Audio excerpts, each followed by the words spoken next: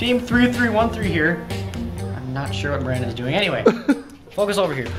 Okay, so we've had a lot of YouTube comments and Chief Delphi comments about how we direct mount or how we mount our CIM to our wheel and how we do that.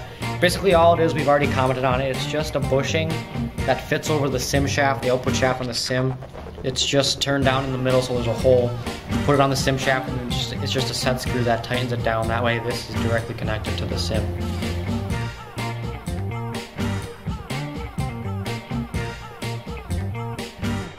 And then we have that turned down a little bit more, just so that our wheel slides on there. And then we have a set screw, which we don't have right in here right now, but we would tap and we drill and tap a screw in here, and that way this tightens down and the wheel turns with the CIM. And we shoot stuff.